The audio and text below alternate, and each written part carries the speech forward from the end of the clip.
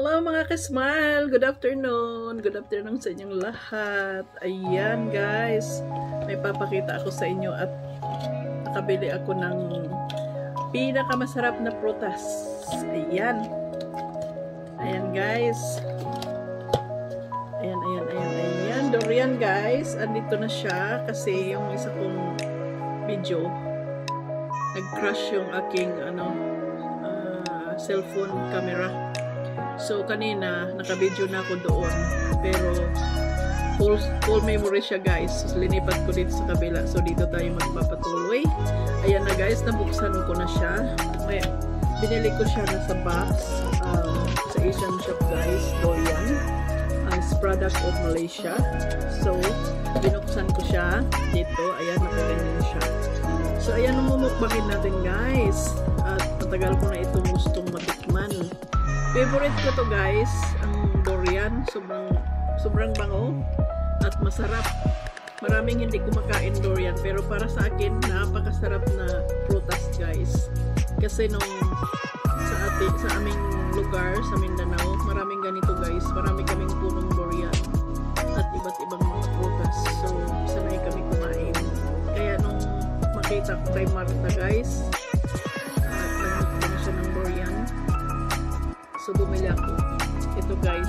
Medyo may kamahalan lang dito guys. Uh, nasa ano na siya, $18. Pero okay lang kasi gusto ko talaga siya matikman. So, mumukbang na natin guys. Sarap.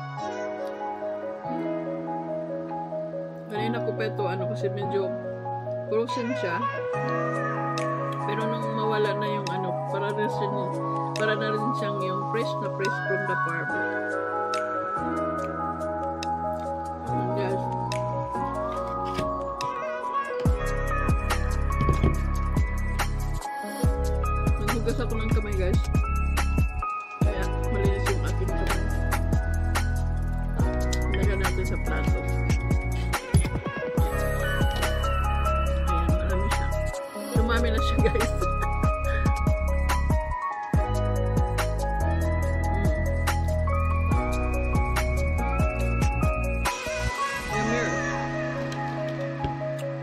Matamis siya. Yan guys, oh.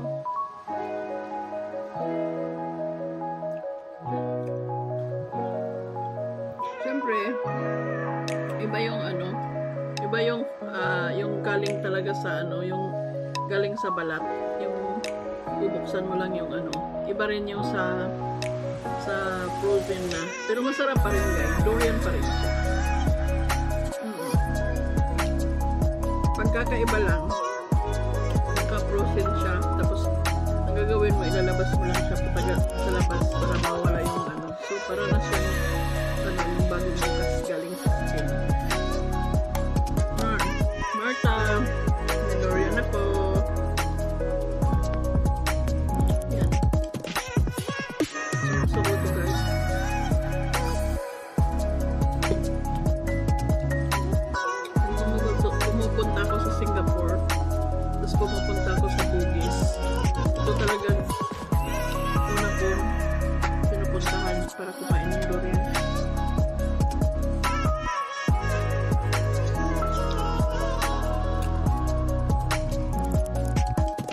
kahit mahal binibili ko talaga dito pag nagustuhan ko nakita ko bibili talaga ako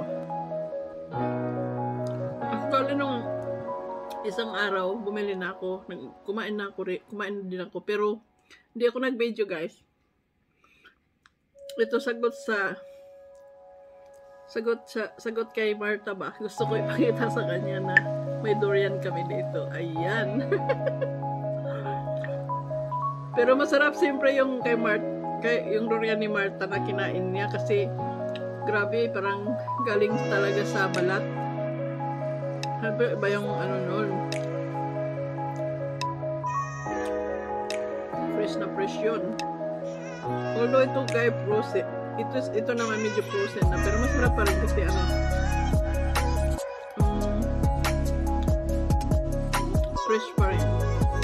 Yun pa rin ang lasa niya.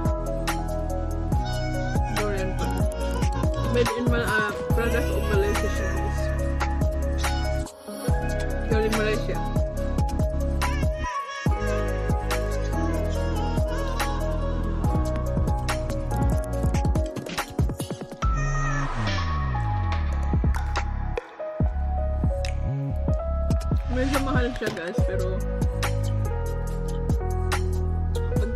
gotten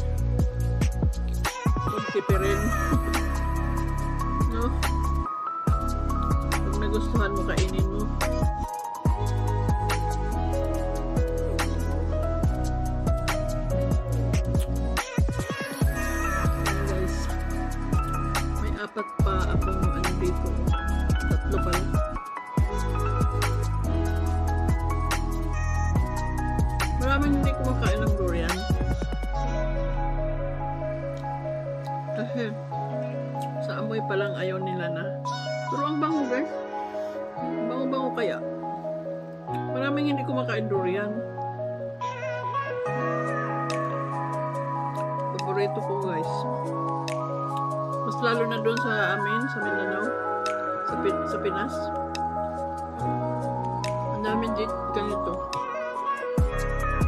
Talagang mga sa puno pa mismo ah.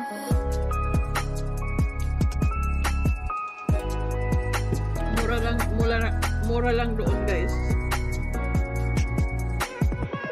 Marami kaming puno.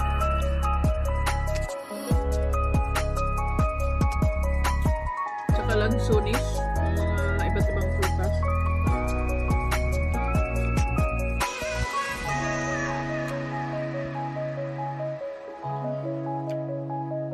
Grabe sarap guys. Pero ano, yung durian, pag marami ka nakain, medyo heavy siya, parang heavy siya sa katawan guys, saka mainit. Kaya, hindi din maganda pag palagi. Pero kung paminsan-minsan pwede.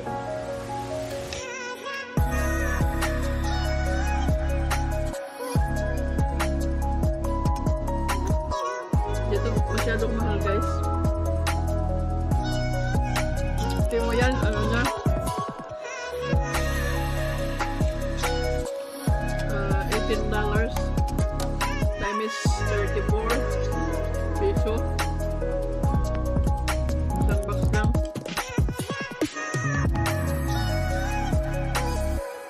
Meron ba siyang ibang klase guys? Yung pinakamahal $30 yun. Yun medyo ma ano siya eh. May yellow siya konti.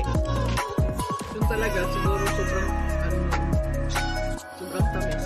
Tumatamis na rin.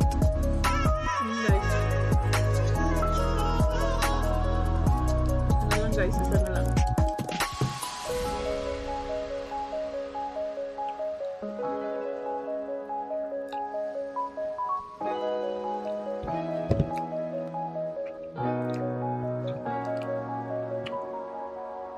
Sarap.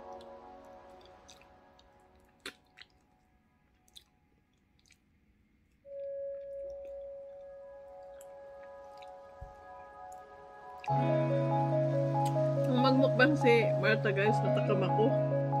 Gustong gusto ko na bumili. kanina, kanina na pumunta ako, ah, nakita ko, bumili na ako. Guys, tapos na tayo. Ano? Sarap guys. Sobrang sarap.